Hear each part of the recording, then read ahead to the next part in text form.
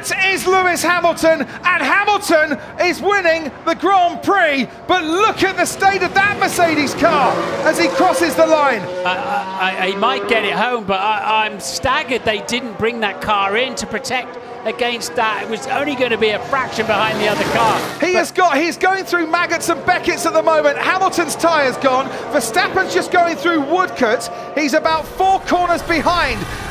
This is now Lewis Hamilton praying that the checkered flag comes as soon as is humanly possible. The gap between Hamilton and Verstappen going down all the time. 20 seconds at the moment. As down the Hangar Straight comes Lewis Hamilton. Verstappen just going through. You can see him in the background. Going through Chapel, through Stowe now with Lewis Hamilton. There. Well, they shouldn't catch him from there, but who knows how this race is going to end. Through the Vale chicane, look how difficult it was to stop.